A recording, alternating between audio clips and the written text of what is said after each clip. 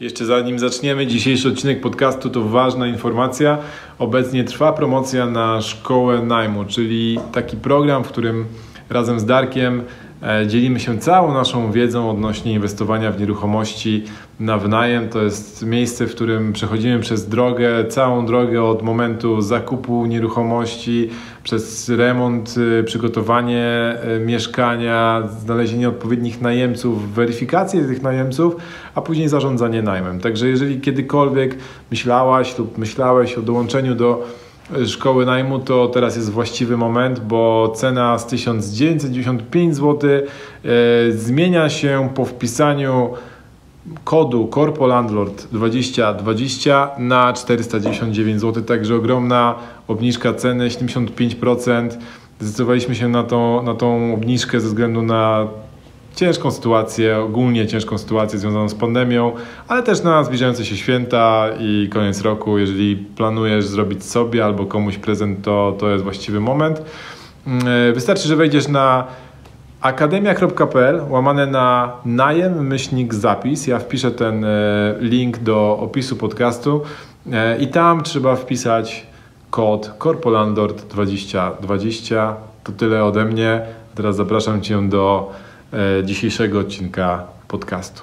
Dzień dobry, witamy Was serdecznie w kolejnym odcinku podcastu Corpo Landlord, gdzie rozmawiamy o tym, jak inwestować w nieruchomości, pracując na etacie. Ja nazywam się Paweł Kuryłowicz, jest ze mną Dariusz Matczak.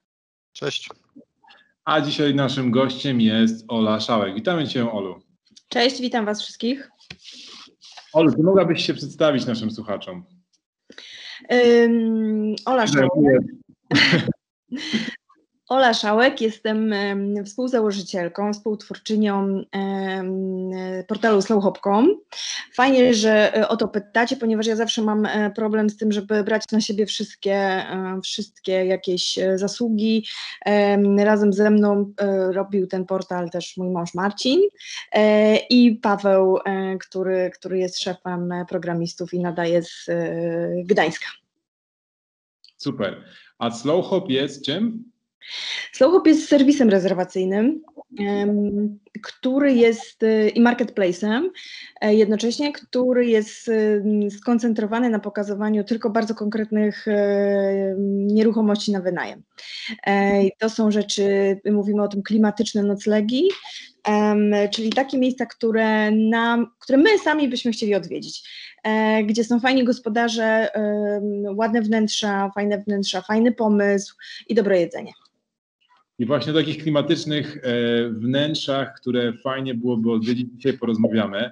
E, Ole zaprosiliśmy specjalnie po to, żeby porozmawiać o takiej alternatywnej opcji na inwestycje, że nie inwestowanie w dużych miastach, w mieszkania dla studentów lub osób, które pracują w korporacjach albo w ogóle pracują gdzieś tam w mieście, tylko właśnie inwestowanie w nieruchomości, które możemy wynajmować takim w takiej formie trochę hotelowej, butikowej e, i, e, i które się wyróżniają na tle mm, całego asortymentu hotelarskiego w ten sposób, że przyciągają właśnie klimatycznymi wnętrzami e, i, i widzimy taki trend na rynku, że coraz więcej tego typu rzeczy jest, coraz więcej, coraz więcej osób chce takie miejsca odwiedzać i właśnie dlatego zaprosiliśmy Ole, żeby porozmawiać o tym, jak to wygląda od kuchni, jak osoba, która jest y, na co dzień w tym, w tym, na tym rynku, widzi, e, co się dzieje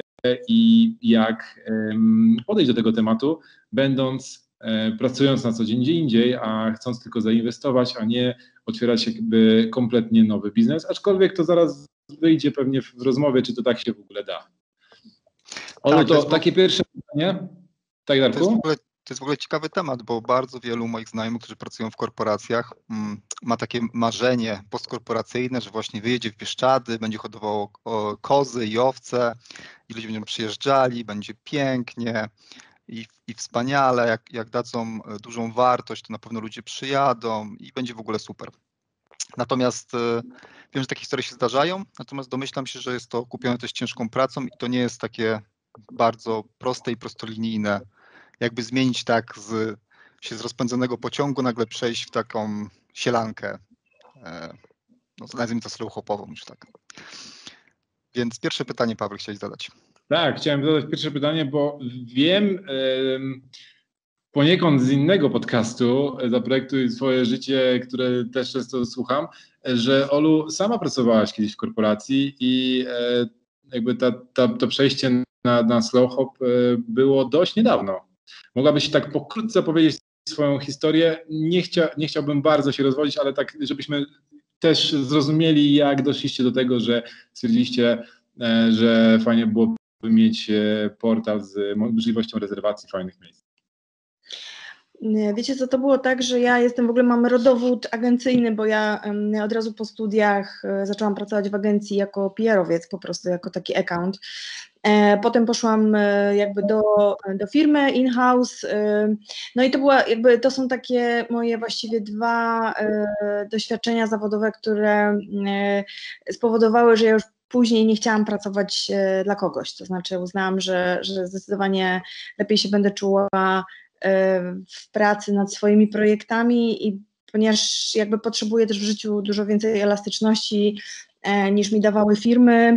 Miałam duże problemy generalnie z tym, żeby się dostosować i rzeczywiście zaczęłam najpierw robić własny startup po tych dwóch firmach, czyli po dwóch firmach, gdzie pracowałam, no można powiedzieć, takich właśnie bardziej korporacyjnych, poszłam na własny startup, który się nie udał.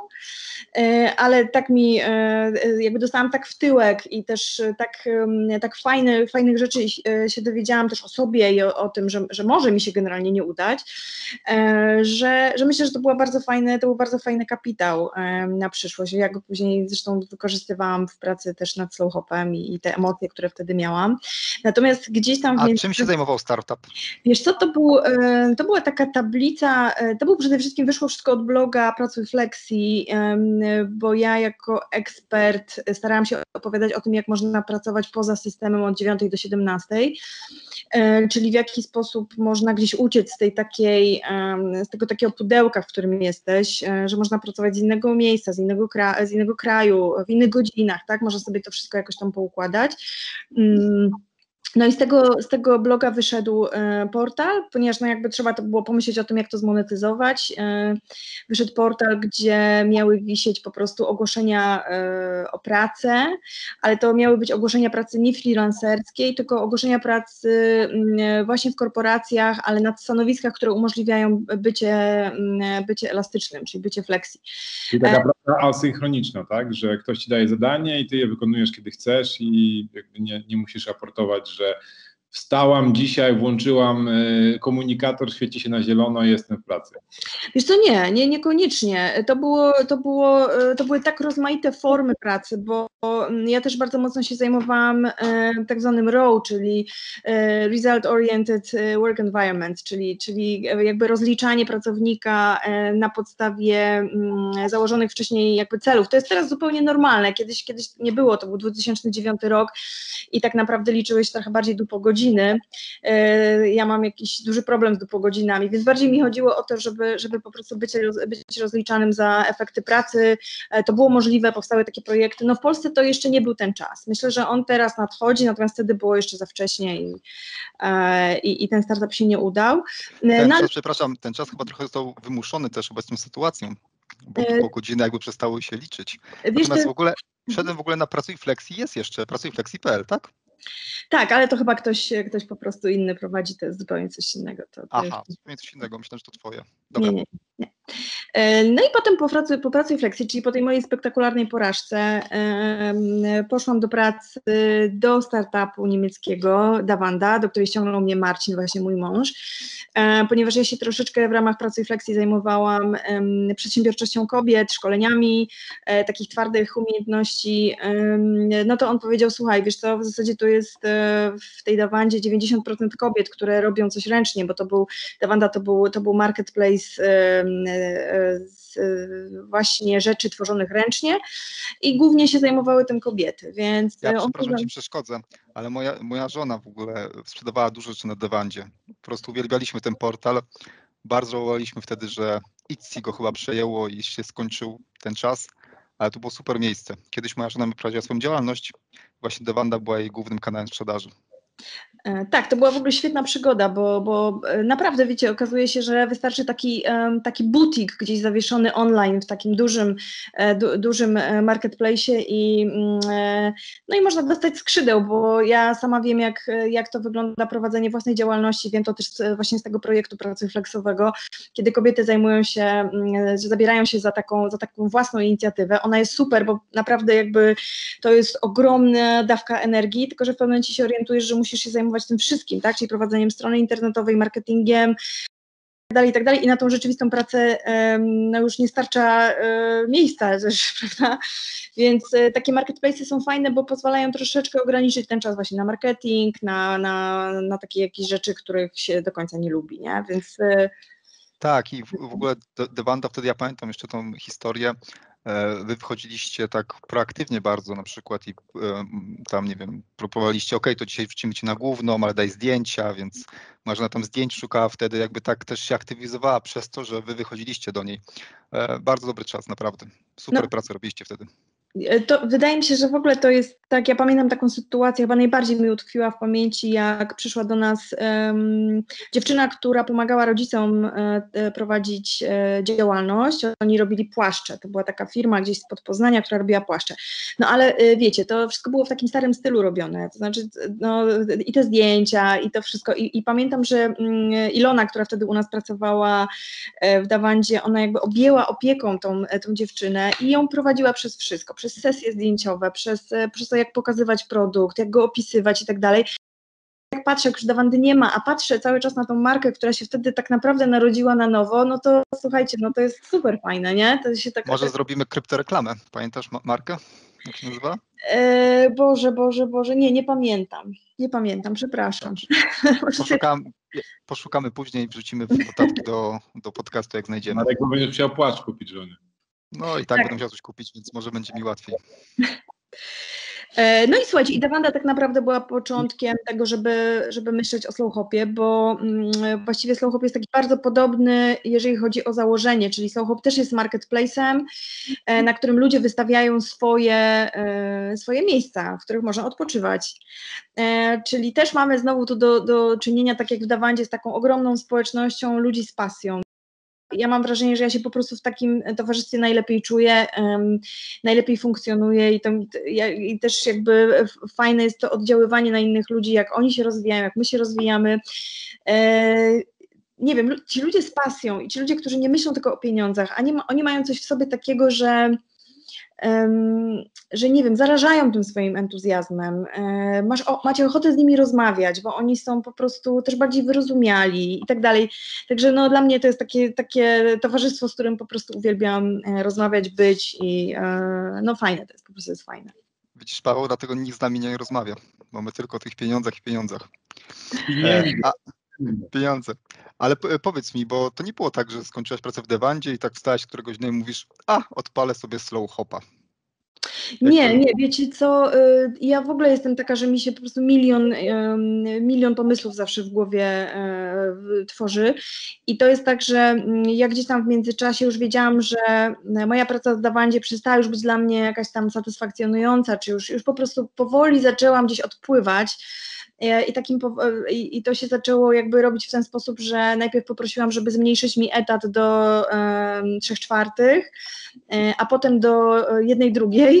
I w tym czasie, kiedy, kiedy miałam trochę wolnego, po prostu wracałam do, kończyłam pracę w Dawandzie, w biurze, szłam do Starbucksa, który był obok, bo chciałam napisać książkę, chciałam napisać powieść. I to była moje, moja jakby ta druga strona życia, czyli gdzieś, gdzie mi się, jak mi się skończyła para na, na, takie, na taką pracę przy biurku, ona mi się wcześniej czy później zawsze kończy i to o sobie wiem, e, to ja musiałam znaleźć coś sobie takiego, co będę, w czym będę, będę się realizować. No i jakby to zmniejszenie etatu i to, że szłam do tego Starbucksa, pisałam powiedzmy z te dwie, trzy strony powieści, potem biegłam do domu, bo miałam oczywiście dzieci i tak dalej małe i to moje życie tak wyglądało przez jakiś czas. E, I, e, ale tutaj jakby taką bezpośrednią, ale cały czas coś w tej mojej głowie się gdzieś tam kręciło i, i pamiętam taką rozmowę z koleżanką z pracy, właśnie z Dawandy, która mi powiedziała kiedyś, że wiesz, bo ja wtedy miałam 35 lat i, i te moje dzieci już tak powoli dorosły, do tego stopnia, że już poczułam taki wiatr wolności, to znaczy już wiedziałam, że mogę troszeczkę odejść od tych zupek i, i tych rzeczy takich związanych z małymi dziećmi i zacząć troszeczkę na przykład wrócić do swojego życia, zacząć się uczyć nowych rzeczy, czyli my z mężem zaczęliśmy, wiecie, zrobiliśmy kurs, kurs nurkowy, który zawsze mój mąż chciał zrobić, zrobiliśmy, robiliśmy kursy kajtowe, no rzuciliśmy się w takie różne dziwne rzeczy, na które wcześniej po prostu nie było y, przestrzeni. E, I to było strasznie fajne. I pamiętam, że koleżanka mi powiedziała wtedy, że we Francji jest, jest taki portal, że właśnie mm, można sobie e, rezerwować takie wyjazdy właśnie z nauczeniem się czegoś sportowego na przykład, tak?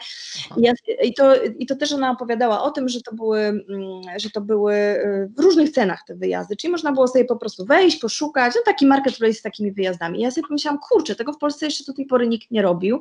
Może to by był bardzo fajny pomysł. Traf chciał, że te wszystkie wydarzenia, które gdzieś tam się odbywały, które znalazłam wtedy, znaleźliśmy, e, to były właśnie, odbywały się w jakichś takich bardzo klimatycznych miejscach. E, I, e, I to była jedna strona medalu. A druga strona medalu była taka, że my w ogóle w międzyczasie przestaliśmy tak rodzinnie jeździć właśnie w takie miejsca, powiedzmy spa, hotele. One już nam się trochę znudziły. E, i stwierdziliśmy, że i strasznie nam się spodobało, jak podróżowaliśmy gdzieś, e, gdzieś do Europy, takie małe właśnie butikowe miejsca, gdzie są super wnętrza, gdzie jest ekstra jedzenie i to wszystko jest takie bliżej tego gościa, nie? To znaczy, że to nie jest jakby recepcja, tylko właśnie jest jakiś gospodarz, który ma jakąś swoją historię, bo właśnie skąd, skądś wyjechał, gdzieś tam, e, wiecie, aż człowiek się zatrzymuje, żeby, mm, żeby zapytać, a jak ty tu w ogóle trafiłeś, człowieku, nie? Skąd ty tu w ogóle jesteś? To jest taka w ogóle fajna e, historia. Byliśmy z, z Marcinem na Camino, czyli e, na, e, przeszliśmy na piechotę tą drogę święte, świętego Jakuba w, z Portugalii do Hiszpanii zrobiliśmy 250 km na piechotę w 9 dni i zatrzymywaliśmy się w różnych miejscach na nocleg. I pamiętam takie miejsce, które chyba najbardziej właśnie mi utkwiło w pamięci, to, to było e, miejsce noclegowe, gdzie właśnie taki bardziej hostel, gdzie spotykali się ludzie, właśnie ci pielgrzymi jakby z całego świata i, i w tej Hiszpanii prowadził to człowiek z RPA, który był tam po prostu zupełnie jakby y, takim super elementem, no i nie dość, że byli ci fajni ludzie, z którymi, ludzi, z którymi siedzieliśmy gdzieś tam wieczorem, to jeszcze ten człowiek z EPA, który opowiadał, jak on tu trafił i tak dalej. Wiecie, to jest całe takie potężne doświadczenie, którego nie ma e, w hotelu. Bo w hotelu masz komfort, masz e, wszystko po prostu gwiazdkowane i tak dalej, ale nie ma tego zaskoczenia, tej historii, opowieści i tego, że wieczorem leżysz w łóżku i myślisz sobie, rany boskie, a może ja bym tak kiedyś właśnie, nie, rzucił tą robotę i po prostu pojechał sobie jeepem w świat i prowadził jakiś hostel czy coś takiego. No to jest taki element szaleństwa, ale ja pamiętam, że w tamtych czasach e, mi było e, potrzeba tego elementu szaleństwa. Po prostu to, to biurko w pracy i praca w ogóle taka jakby codziennie ta sama, ona gdzieś tam spowodowała, że ja e, no trochę się już dusiłam, nie? I takie, takie historie mnie mega kręciły i wydaje mi się, że to, to, to, było, to był taki powód, y, dla którego zaczęliśmy też szukać tylko i wyłącznie takich miejsc na wypoczynek. I problem był, słuchajcie, taki, że ja jestem fatalna w szukaniu, to znaczy mi się po prostu nie chce siedzieć przy, przy, y, przy kąpie i wyszukiwać, a był problem z wyszukaniem tych miejsc, no bo macie te wszystkie portale rezerwacyjne, które są masowe, czyli one wrzucają wszystko.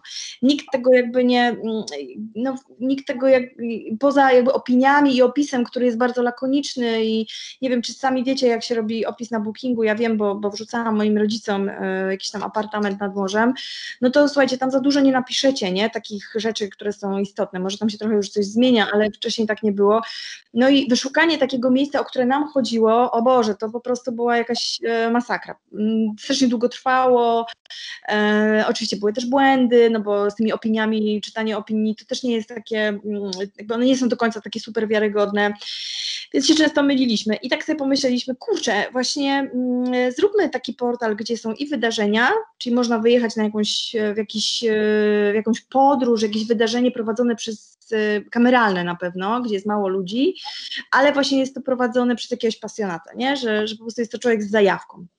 A druga sprawa, e, zróbmy miejsca, pokażmy miejsca, które przejdą naszą weryfikację, bo są takie, jakich my szukamy e, i będziemy je pokazywać po prostu na portalu. Wiecie, to był rok chyba 2013 albo 2014, chyba 13, bo... Mm, bo nam to w ogóle bardzo dużo, za, długo um, zajęła sama koncepcja. Ona tak ewoluowała, po prostu tam było pivotowanie kilka razy, więc y, to ten pomysł tak, y, tak, to nie jest tak, że my po prostu wymyślimy, a zrobimy takiego sohopa i będzie to i to. Nie, to, to w ogóle zupełnie inaczej wyglądało. To tak pomysł tak działa? Słucham? To tak działa? Myślałam, że tak właśnie to wszystko działa. ja bym chciała, żeby to tak działało, żeby to tak działało. Nie, nie. Tylko u nas, tak, Darek, tylko u nas.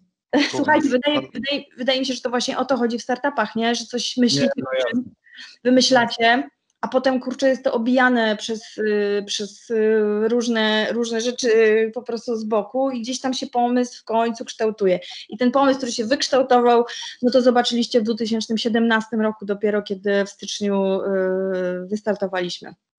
Myślę, że ważne, że to powiedziałaś, bo ludzie mają takie, takie przekonanie, że firmy startują i wymyślasz koncept, proces, wizytówki, stronę i po prostu to tak idzie. A to tak naprawdę jest proces, który non-stop ewoluuje. Czasami zaczynasz od, nie wiem, sklepiku z książkami, a kończysz na butiku hotelowym, prawda? Więc to.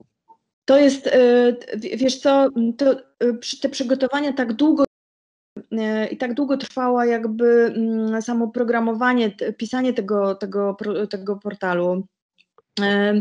I to ja pamiętam, że my wtedy wszyscy pracowaliśmy gdzieś, bo ja jeszcze pisałam, ja byłam właściwie jedyną osobą, która była, e, która była gdzieś tam takim głównym, e, przeznaczona jakby do tego slowhopa i go tam ciągnęłam i pchałam, ale na przykład był też Paweł właśnie, który, e, który z Gdańska, on pracował wtedy w Boeingu, zresztą dopiero niedawno odszedł, więc on, ja zawsze byłam zaszokowana, jak on to jest w stanie prowadzić, że on jest w stanie to mimo tego, że ma oczywiście rodzinę, żonę lekarkę i pracuje w Boeingu i on, słuchajcie, wracał z tej roboty i e, siadał, po prostu robił pewnie kolację z, z dziećmi i tak dalej. Zawsze mu, mieliśmy, słuchajcie, kole, takie mm, slowhopowe o godzinie 21 na przykład i tak trwały do 11 wieczorem. No to wiecie, no kto tak pracuje, nie? To tylko wariaci jacyś. I ym, ja pamiętam, tak, pasjonaci. I wszyscy pracowaliśmy. Paweł, to, Paweł, Paweł się nie poddawał chociażby nie wiem co, już po prostu mi się płakać chciało, bo to nic z tego nie wychodziło. Mieliśmy jeszcze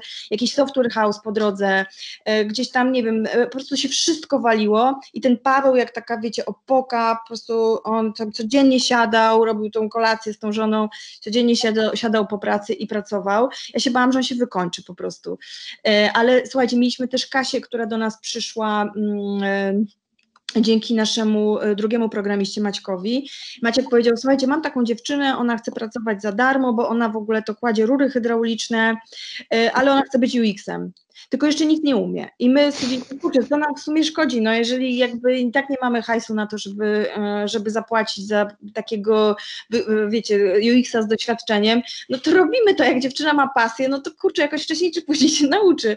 No i Kasia też e, przez jakiś czas e, kładła te rury i jednocześnie robiła nam UX, E, więc y, oni pracowali naprawdę, uwierzcie mi, do godziny. Ja, ja, nie wierzyłam po prostu, jak na tym Slacku szły wiadomości, to była godzina druga w nocy na przykład, czy ja już nie miałam takiej pary. Ja przez cały dzień robiłam, a potem już szłam spać, a oni tam się po prostu tworzył ten portal gdzieś, y, jak ja już spałam.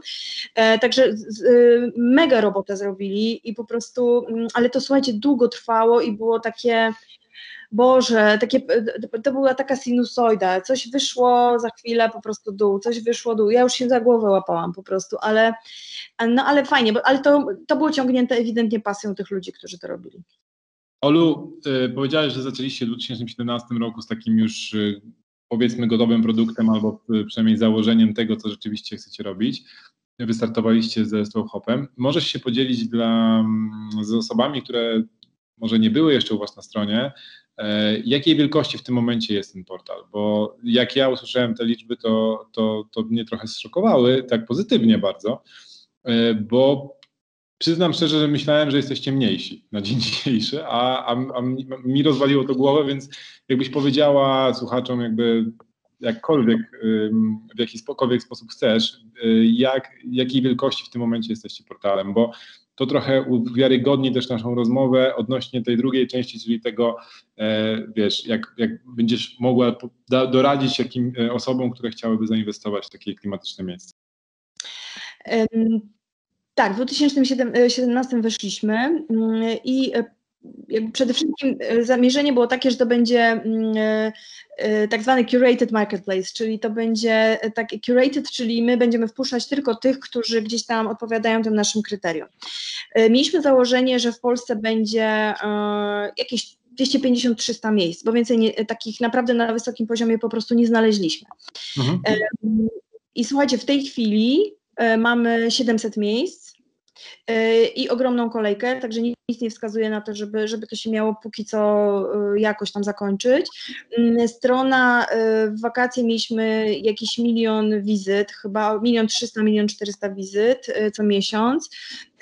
To jest też biznes mocno sezonowy, czyli no wiadomo jak jeździmy na wakacje, więc ten ruch spada po wakacjach, ale on też nie spadł w tym roku jakoś tam straszliwie, tak? My jakby ciągle notujemy wzrosty.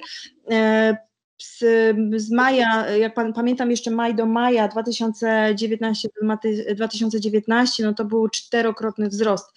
Więc, e, więc no powiem Wam, że, że rzeczywiście my się tego kompletnie nie spodziewaliśmy. Ja kiedyś. Um, Może zdradzić, ile rezerwacji obsługujecie albo obsługiwaliście tak w takim topowym miesiącu? Wiesz to ja już, ja już nie pamiętam, musiałabym spra sprawdzić, chyba, że masz te, masz te dane gdzieś z jakiegoś... Nie, no tak mniej więcej, bo chodzi tylko, wiesz, są tysiące, dziesiątki tysięcy, setki tysięcy. Tysiące, tak, to są tysiące. Okay. Przy czym, przy czym e, pamiętajmy o tym, słuchajcie, że to jest e, taki marketplace, to jest taka bolączka, że ludzie e, obchodzą bardzo często marketplace. Tak jak no. gdzieś tam rezerwujecie, czy kupujecie na Allegro, czy coś, no to na Allegro może nie, ale ale ludzie bardzo często myślą sobie, że jak obejdą, obejdą platformę i zarezerwują bezpośrednio, to dostaną niższą cenę albo nie wiem, lepsze warunki i tak dalej. Więc my, mm, no to nie jest proste, nie? To znaczy my musimy się pogodzić z tym, że jakaś część, e, część tych rezerwacji idzie bokiem. E, natomiast jakby Soho też jest takim trochę no i to jest trochę smutne. My, my generalnie, wiecie, po prostu kupę roboty w to wkładamy, żeby, żeby, żeby to fajnie wyglądało, żeby to, żeby, żeby było, była kasa na to, żeby zatrudnić kolejnych programistów, bo to jest teraz dla nas najważniejsze. Mm, no także to, to jest trochę, trochę bolesne, bolesne, nie? A nie masz wrażenia, że jakby te czasy, te, znaczy też jakby jest tego mniej już? To, to, to nie jest coś, czym ludzie się, przynajmniej jeszcze kiedyś, tam w latach 10 gdzieś chwalili, a tutaj zrobiłem tak, a tak, a teraz to jest jakby takie już passe, jakby robienie tego typu rzeczy, jak nie wiem, ob, ob, obchodzenie platform. Przynajmniej ja mam takie wrażenie. E, wiesz co, y, my to pierwszy raz zobaczyliśmy w Dawandzie, to nam powiedzieli o tym ludzie z Berlina, z berlińskiego biura, że w Dawandzie czasami jest tak, że na przykład ktoś pisze do, projektant pisze do Dawandy, wystawcie mi fakturę, bo tam ktoś kupił bezpośrednio, ale to był klient od was. I my wtedy w Polsce, w polskim biurze robiliśmy takie wielkie oczy, mówiliśmy, nie może być, nie? To było, wiecie, 2000 tam... To Niemcy, to Niemcy. To Niemcy, to u nich tak. jest inaczej, u nas to Polacy, nie, wiadomo i tak dalej.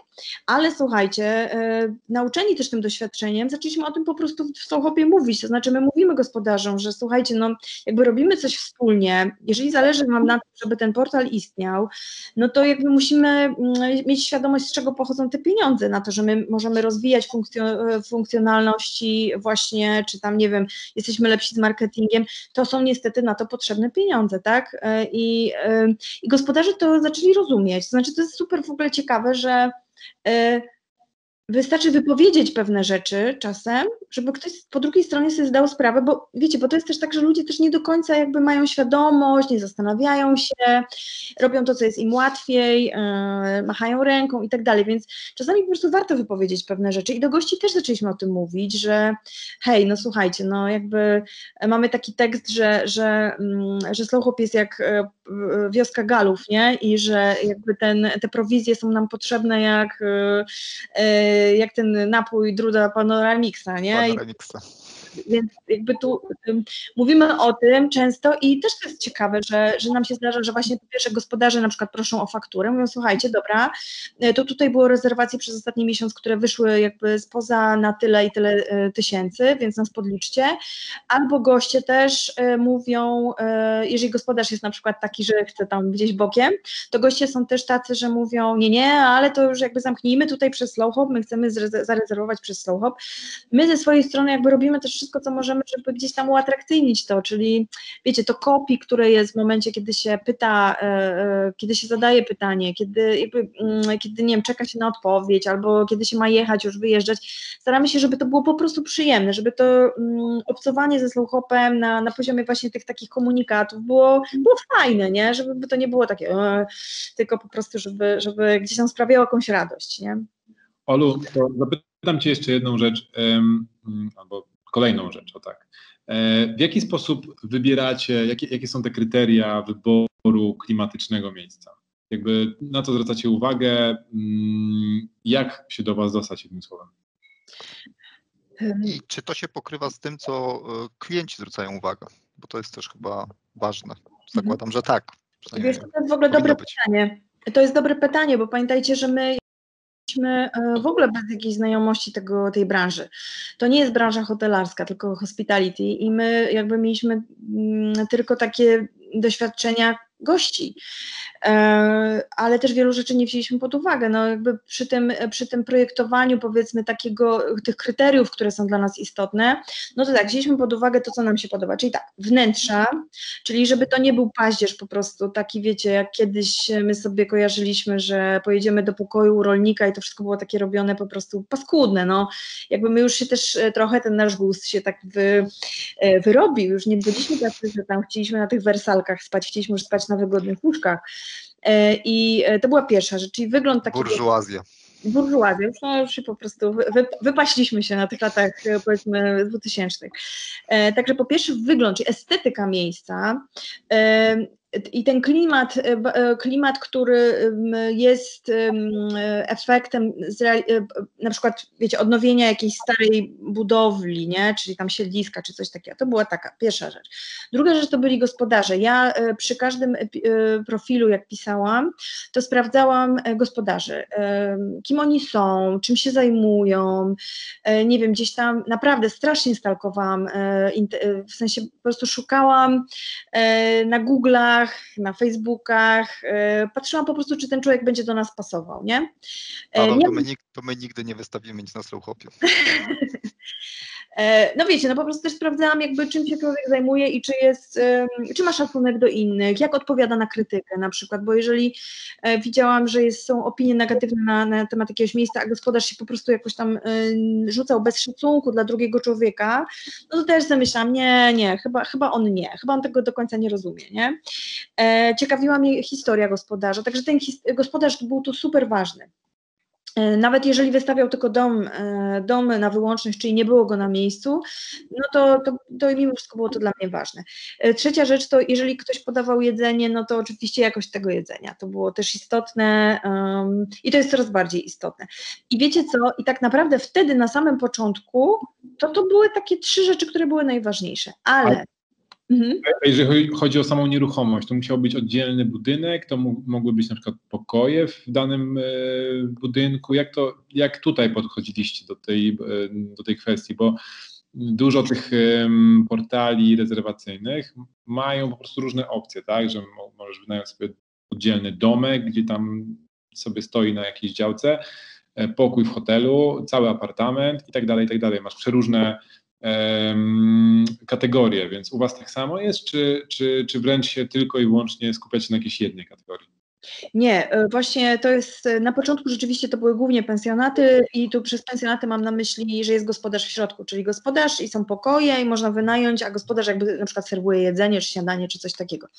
Ale potem uznaliśmy, że kurczę, jest tyle fajnych y, domów y, na wyłączność, na przykład, wiecie, ja też mam dom, ja mam starą oborę na Mazurach i ona jest super i tak sobie pomyślałam, kurczę, w sumie gdybym ja była gościem Soulhopa, to też bym chciała taki, taką oborę sobie wynająć, mimo że tam nie ma tego takiego pełnego doświadczenia relacyjnego, czyli nie ma, mm, nie ma gospodarza na miejscu, nie? Ale to też uznaliśmy, że to dla niektórych ludzi jest ważne, też dlatego, że my jako goście mamy coś takiego, że nie wszyscy lubimy mieć kontakt z gospodarzami, e, czasami chcemy mieć po prostu kompletną intymność, bo, bo chcemy być po prostu sami, tak? Więc jakby stwierdziliśmy, że tu są, muszą być potrzeby i tych osób, i tych zaspokojone, nie? Także jakby zrobiliśmy, zrobiliśmy te dwie rzeczy.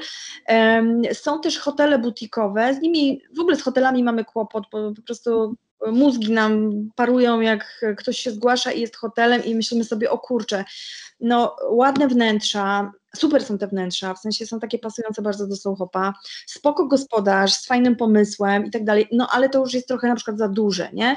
Czyli do jakiego, yy, czyli do jakiego, yy, do jakiej wielkości my przyjmujemy na Soulhopa i to są takie rzeczy, które gdzieś tam cały czas są w procesie myślenia o tym, mhm. yy, bo my też do końca nie wiemy. Pamiętam, że mm, tutaj drugie to wasze pytanie, w jaki sposób goście Goście to regulują. E, mieliśmy taki przypadek, że przyjęliśmy bardzo fajne miejsce w górach, które e, znajdowało się przy drodze i obok były, mm, e, obok były inne domy. To, to jest bardzo fajna wieś, bo to jest taka skansenowa wieś, więc nam to pasowało generalnie, ale pojechali tam ludzie na dwa tygodnie i byli wściekli na nas, bo powiedzieli, że to w ogóle nie jest slow, bo to jest przy drodze. Akurat wtedy była zakopianka, zakopianka była remontowana i cały ruch po prostu poszedł akurat przy tym domu. Yeah głowę złapałam, po prostu spać nie mogłam, bo, bo to było tak, że miałam taką odpowiedzialność, cholera jasna, wysłałam ludzi um, na wypoczynek po prostu slow, który no już w tej chwili nie jest slow, no bo jak masz codziennie po prostu sznurek samochodów za, za oknami, no to sorry, to trochę nie o to chodzi. E, I teraz już bardzo się tego pilnujemy, czyli w momencie, kiedy ktoś się do nas zgłasza, to też sprawdzamy lokalizację, czyli czy są domy, o, czy są, um, czy to jest we wsi, czy są domy obok. To, e, przyjmujemy też e, miejsca, które są we wsi, w środku wsi, z domami obok, ale musi nas coś mega zachwycić, dlatego nie chcemy ich też e, od razu odrzucać, ale musimy o tym napisać. To nie jest dom w środku niczego, obok macie budynki i no nie jest to jakby zupełnie na, na bezludziu, nie? Piszemy o tym bardzo wyraźnie, żeby ludzie mieli świadomość. A to, to jest w ogóle, wiesz, takie ciekawe, bo trochę wracamy do podstaw komunikacji, prawda? Czyli trzeba opisać dokładnie, co jest na miejscu, żeby ludzie nie byli jakby zaskoczeni. I to samo jest z tą prowizją. To znaczy, jeżeli ludzie nie wiedzą, na co idą pieniądze, bo część osób, ja jestem świadomy tego, może uważać, że no przecież strona kosztuje pewnie 50 zł miesięcznie, bo to hosting jakiś, prawda? Domena kosztuje 150 zł na rok. No co tam, no jakiś tam dwóch pracowników, no i to jakby po co im tyle pieniędzy? Jakby po co im tyle cięgów, no?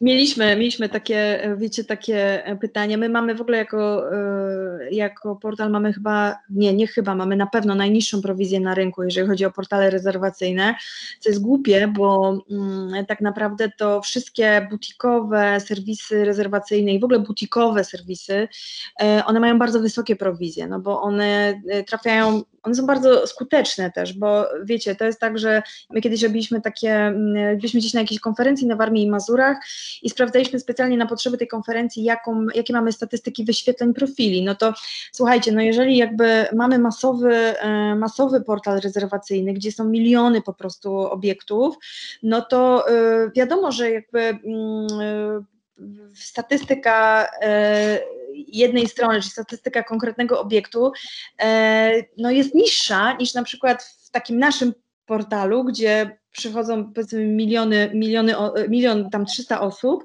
no ale tych profili jest zamknięta ilość, jest ich było nie wiem 200, 300, teraz 700, tak, także te statystyki wyświetlania każdego profilu są bardzo, bardzo wysokie.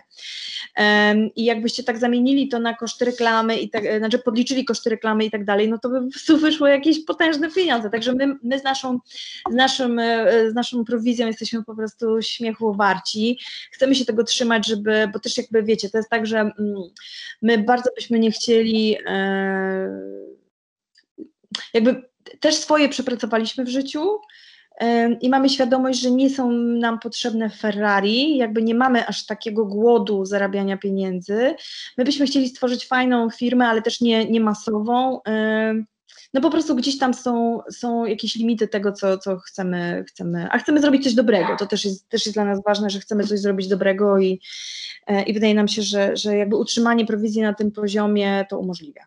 Zrobić coś no. fajnego i przy tym godnie żyć. Tak, dokładnie. Super. E, powiedz mi jeszcze tylko szybciutko, y, weryfikujecie każdą nieruchomość, która do Was y, dochodzi osobiście, w sensie sami tam jedziecie i sprawdzacie, ktoś z Waszej e, firmy, czy jak to wygląda, jak wygląda weryfikacja takiej, takiej nieruchomości? E, to wygląda tak, że my nie bo do nas, e, słuchajcie, jest, jest tyle zgłoszeń, że e, gdyby, to ja nie wiem, jak byśmy to mieli zrobić. Po prostu byśmy nie dali rady, bo kiedyś jeszcze trzeba pracować, nie? Mhm. A mamy bardzo, jak to w startupie, ograniczoną liczbę ludzi, którzy, którzy w nim pracują. Więc my zrobiliśmy sobie taki sposób weryfikacji, że no, staramy się najwięcej, ile możemy zrobić przy biurku. Czyli tak, sprawdzamy e, wszystkie opinie, które kiedykolwiek się pojawiły na jakimkolwiek e, portalu, e, czy na Facebooku, czy na Google, czy gdziekolwiek. To, to jest pierwsza rzecz. Sprawdzamy opinie, sprawdzamy zdjęcia, patrzymy, jak miejsce wygląda w środku. Pytamy gospodarzy bardzo często, którzy mieszkają gdzieś obok.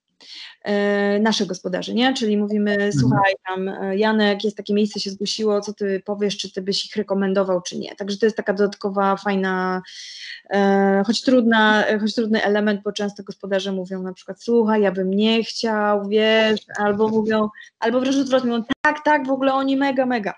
Także to jest taka, taka część. Sprawdzamy na mapach Google'a, jak wygląda okolica, czyli e, żebyśmy się nie władowali w jakiś taki, taki, taką rzecz, nie wiem, obok jest jakaś kurza, albo nie wiem, jakaś wielka ulica, czy, czy nie wiem, wiecie, jakaś przelotówka, albo trasa szybkiego ruchu, bo to też przecież się zdarza czasem.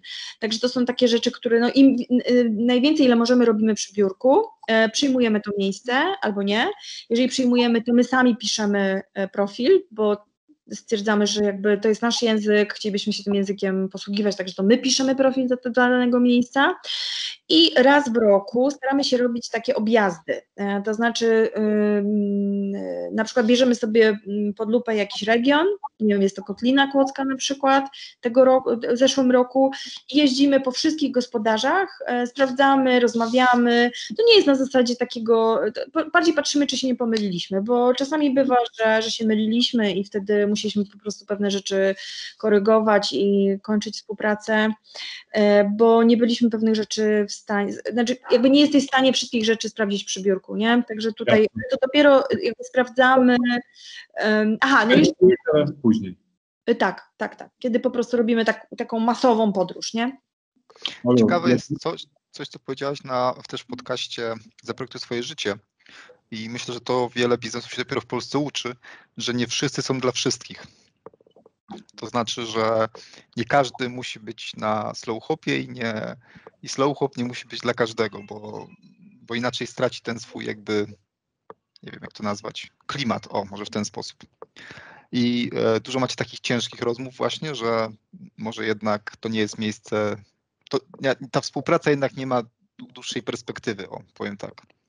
No, e, wiesz to może dużo nie, bo jakby mam wrażenie, że ten proces weryfikacyjny mm, jest ok, on działa. On oczywiście ma swoje wady i tam zdarzają się przypadki błędów, ale to, to nie jest jakaś wielka skala. U nas takim e, specjalistą od trudnych rozmów jest e, Kasia, która się zajmuje, która jest jakby odpowiedzialna za customer service i to ona przyjmuje i weryfikuje miejsca i mam wrażenie, że ona w tej chwili ma najgorzej, bo mm, no to jest też tak, że na przykład zgłasza się jakieś miejsce, miejsce my decydujemy, czy Kasia decyduje, że nie e, i gospodarz tego miejsca nie może się na przykład z tym pogodzić, nie? Bo, bo chce być na, na Sołchopie, a my, no jak, to my przecież nie przyjmujemy, a przecież to jest super miejsce i tak dalej.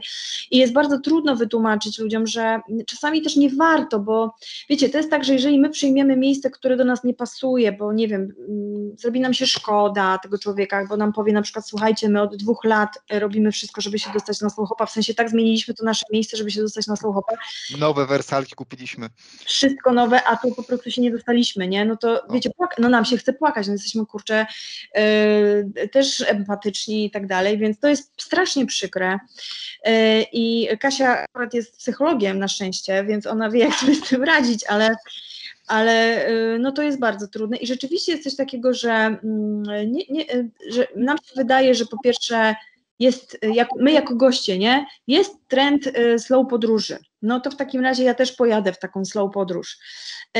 I to jest dla nas kłopot, bo e, wiecie, dla nas, w sensie dla Sochopa i dla gospodarzy, no bo jeżeli to jest człowiek, który po prostu potrzebuje czegoś zupełnie innego, jeździł do tej pory, wiecie, w jakieś e, po prostu e, miejsca E, nie wiem, na Malediwy, do tych hoteli takich, które pokazują po prostu w jakiś, e, na Pinterestach i nagle znajdzie się w Slowhopie na glampingu, gdzie mu wejdą, wiecie, mrówki tam do środka albo, e, nie wiem, będzie, będzie no różne rzeczy przecież się mogą stać, albo znajdzie się w starym domu, który no jak to stary drewniany dom, słychać każdy krok ludzi, którzy są obok, no to wiecie, nagle się okazuje, że ten człowiek, ten gość mówi, to jest beznadziejna sprawa ten slow hop, po prostu jest beznadziejny, tak? No bo jak można w ogóle w takim domu przyjmować gości? Gdzie są moje welcome drinki? Słucham? Gdzie są moje welcome drinki? Gdzie są moje welcome drinki, ale albo wiecie, albo właśnie oczekiwanie od gospodarzy też, że będą jak taki, mm, jak tacy jak taka obsługa hotelowa, nie? że room service, jakby na każde zawołanie i tak dalej. To, to, to jest brak zrozumienia, jakby o czym my mówimy też, bo my mówimy o ludziach, którzy przecież y, bardzo często tam mieszkają, y, wiecie, tam jest, jest małżeństwo, które musi robić wszystko, nie? Znaczy musi e, podać śniadanie, zabawić gości, być hydraulikiem, pójść obrobić ogród, pomalować jakąś altanę. Tam nie ma po prostu miliona osób, które pracują tak jak w hotelach i niestety nie zawsze można e, na, jakby odpowiedzieć na zapotrzebowanie gości tej obsługi hotelowej. To jest hospitality, to jest, to jest, to jest gospodarz, to jest gość, to nie jest klient i, um, i usługodawca. Nie? My na to tak nie patrzymy, więc jeżeli ktoś tego nie rozumie i pojedzie w takie jakieś nasze miejsce, a gospodarz mu na przykład szczerze powie, no przykro mi, no nie mam tego, nie, nie zrobię tego dla Pana, tak, nie, nie, nie dam rady, po prostu nie uda mi się, wszystko zrobię co mogę, ale nie zrobię tego, no to bardzo często to wywołuje oburzenie, a dla nas to jest po prostu taki, taki sygnał, że, no, że ta osoba, że my ją jakby, że ona nie powinna była tutaj trafić. To albo my napisaliśmy źle profil, bo nie wzięliśmy tego pod uwagę, że, że, że powinniśmy napisać na przykład, że e, tu jest wieś i są myszy jesienią, no albo ta osoba po prostu też nie, nie rozumie, nie rozumie całego, całego slowhopa, tak, idei slowhopa. Bo nigdy nie była na wsi. E, Olu, ja, się to zdarza. Ja, ja muszę Cię pytać o kilku, kilka takich konkretów, które interesują e, osoby, które chciały być przyszłymi inwestorami, tak? Bo sama powiedziałaś, że masz e, oborę na Mazurach, którą, jak rozumiem, wynajmujecie w podobny sposób. I teraz wyobraźmy sobie takiego E, przyszłego inwestora, który zgromadził jakąś część gotówki i chciałby zainwestować w podobny biznes, czyli stworzyć klimatyczne miejsce w jakimś fajnym, e, ustronnym miejscu gdzieś w Polsce e, i pewnie docelowo znaleźć się na, na waszym portalu. Załóżmy, że ma jakąś tam sumę pieniędzy, powiedzmy milion złotych. I na co zwrócić uwagę, jakby co ty byś zarekomendowała po tych setkach y, spotkań z ludźmi, którzy, którzy zrobili podobne rzeczy? Wiesz co, przede wszystkim chyba bym zarekomendowała, żeby nie traktować tego jako inwestycję, bo my wtedy tego nie przyjmiemy do Slowhopa. To znaczy, jeżeli e, masz zamiar e, na małej działeczce zbudować e, sześć domków blisko siebie, żeby ci się biznes case spinał, to my nie przyjmiemy tego, nie? Bo to jest dla nas po prostu ewidentnie zrobione tylko dla hajsu, tam nie ma ani grama, ani grama pasji. To jest coś, czego też się dowiedzieliśmy, nie? Także my prawdopodobnie, gdybyś sprawdził Slowhopa, to jeszcze znajdziesz takie miejsca, które są osiedlami bardziej, widać było, że ktoś po prostu tutaj właśnie spinał business case. Mhm. To jest jedna rzecz. Druga rzecz. E, radziłabym unikać bardzo prostego rozwiązania, takiego, że mam kawałek ziemi, bo już go kupiłem, czy kupiłam, jest przecież masa firm, które buduje takie gotowe domy z paczki, nie? Czyli po prostu, nie wiem, idziesz do takiej firmy i ona ma gotowe wzory. Fajne, nowoczesne, super to wygląda. E, no ale wiecie, jak się kupuje domy z paczki, to one powodują, to, to powoduje, że przestaje to być unikalne. E, ja Wam powiem zupełnie szczerze, że już nie wiem, to było chyba rok temu, czy półtora roku temu, jak już widziałam kolejne projekty, które nas tak strasznie na początku zachwyciły, czyli te nowoczesne stodoły, e, to ja już mówiłam, oho, no to idzie już fala i będzie tego za dużo. I rzeczywiście jest tego za dużo. Ja już w tej chwili, jak widzę nowoczesną stodołę, to ja się w ogóle nie, nie ekscytuję w żaden sposób, bo tu jakby nie o to chodzi, nie? To znaczy, jeżeli wszyscy będziemy robić projekty, które wszyscy robią, no to, no to słuchajcie, no to możemy właściwie całego słuchopa zamknąć, bo tam większość to będzie właśnie takich projektów z paczki bardzo podobnych, nie? Mhm. Czyli tutaj jakby to, co y, to, co na pewno bierzemy bardziej pod uwagę, no to jest, y, to są stare budynki, i wszystkie niestandardowe pomysły. Czyli ja, to, co ja widzę, co się bardzo fajnie rezerwuje zawsze, to jest, bo, bo ludzie są po prostu zainteresowani i zaciekawieni, to, to są wszystkie takie rzeczy, E, czy pomysły zwariowane i, um, i takie, że myślisz sobie, kurczę, to jest aż niemożliwe, że ktoś coś takiego wymyślił. Czyli na przykład y, y, domki na drzewach, nie? Jak my pokazujemy domek na drzewie, no to one po prostu y, od razu, to jest, to jest szaleństwo, to jest dla ludzi to jest super fajne i takie gdzieś tam domy właśnie w drzewach, w koronach drzew. Tu też jest, nie wiem czy pamiętacie taki projekt w Nowęczowie domów w drzewach. My nie mamy ich na Słuchopie, ale y, oni y, po prostu mają rezerwację na 2-3 lata w przód. Wow. Czyli to jest dobra inwestycja, a jednocześnie jest to bardzo indywidualny projekt, oni są z tego dumni yy, i bardzo dobrze mają prawo być dumni.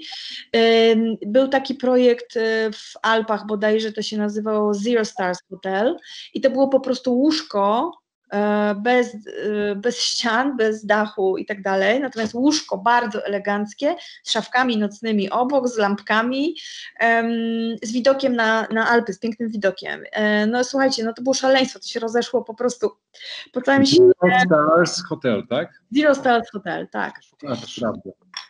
Tak, bo to jest, czyli to, to pokazuje, a jeszcze jedna rzecz, e, glampingi, które powstawały na przykład, no glampingi to jest w ogóle znana już od lat e, koncepcja, ale... Dla tych, którzy nie wiedzą, co to jest Glamping to jest, to jest w tej chwili się mówi, że to jest trochę nie, taka właśnie niestandardowa forma noclegu, ale tak naprawdę glamping to było połączenie tych dwóch słów e, glamorous, czyli coś eleganckiego i camping, czyli to, bardzo często to były namioty, E, takie w środku z dywanami, z meblami, z super łóżkami i tak dalej. E, no i w tej chwili ten glamping, on ma różne, e, różne oblicza, bo to mogą być na przykład jurty mongolskie, to mogą być właśnie namioty, jakieś tiny houses, y, czyli małe domki.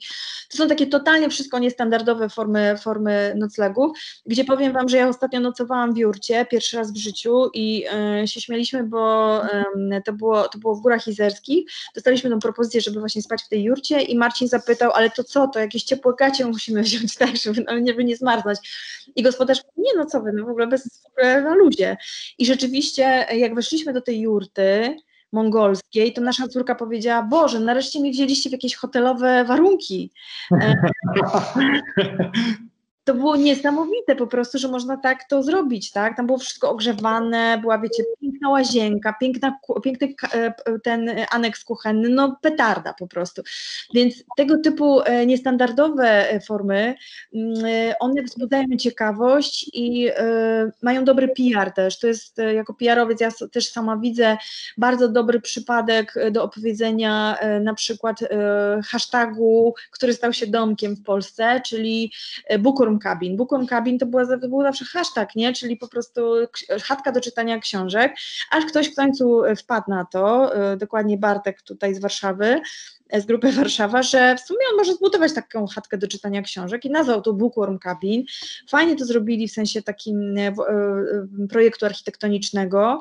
E, postawili to w środku takiego małego lasku. Słuchajcie, o Bookworm Cabin pisze w tej chwili cały świat designu, tak? Więc jakby to też jest um, bardzo fajne w jakiś sposób wymyślenie jakiegoś własne, własnego konceptu, pomysłu, marki, um, może pójść w świat później, nie? Jakby Super strategia, patrzeć jakie mm, hasztagi związane z nieruchomościami zyskują na, na popularności i później do tego doszukać jakiejś właśnie indywidualnej indywidualnej inwestycji. Ekstra, ekstra sprawa.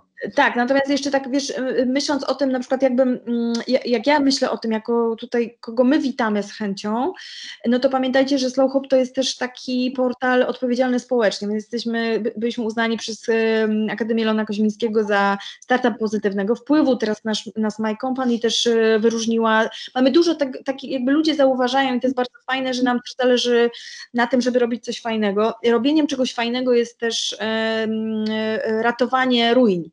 Czyli mhm. bardzo często y, też się kierujemy tym, że na przykład nie wiem, przychodzi do nas ktoś, kto podjął się po prostu mega trudnego zadania, czyli na przykład wyremontowania starego młynu, młyna albo jakiegoś wiatraka, albo y, nie wiem, czegoś, co po prostu pałacu, tak, y, no to już grubsza sprawa, ale za każdym razem, kiedy ktoś decyduje, zastanawia się, czy ja mam wybudować coś na działce, czy ja mam kupić coś gotowego, no to e, powiem Wam, że większe szanse ma dla nas, z naszego punktu widzenia, jak remontują coś gotowego, bo to są perełki, to są perełki, natomiast jeżeli ktoś kupuje działkę i właśnie buduje tam coś, to bardzo często ulega tej pokusie, a zrobię to po prostu tak, żeby było prosto, bo przecież normalnie siedzę w tym korpo tam do, do 20 i nie mam czasu, więc ja kupię ten dom gotowy, postawię i będę wynajmować na samochody i będą po prostu leciały hajsy. No to trochę nie, nie, nie za bardzo o to chodzi, nie? Darku, co tak ucichłeś? E, wiesz co, szukałem pytań. Mam jeszcze Aha. pytanie. Zastanawiam się, jak teraz to zrobić, ale ma, mam jeszcze jedno pytanie od siebie, bardzo ważne. Powiedz mi, bo jest tak, e, tak fajnie opowiadasz, to wszystko, jest, jest tym energia, w ogóle pasja i teraz e, ja mówię, ok, to rzucam tą pracę, sprzedaję ten swój, swoje mieszkanie w Warszawie i za to kupuję ziemię właśnie z jakąś starą stodołą, remontuję ją i zaczynam.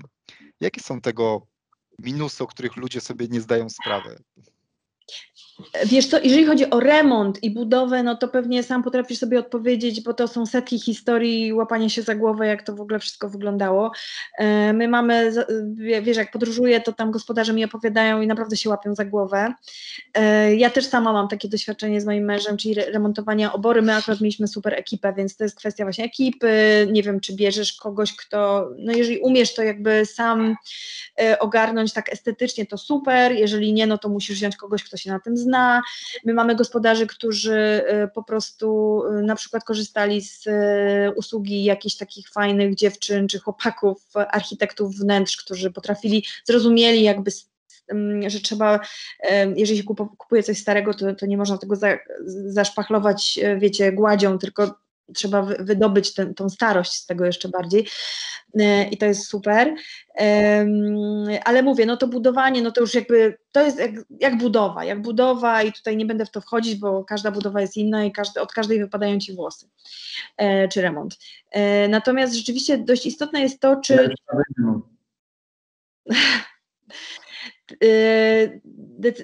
istotne jest to, czy ty się decydujesz na to, żeby prowadzić później pensjonat, czy żeby robić dom na, wy, na wyłączność.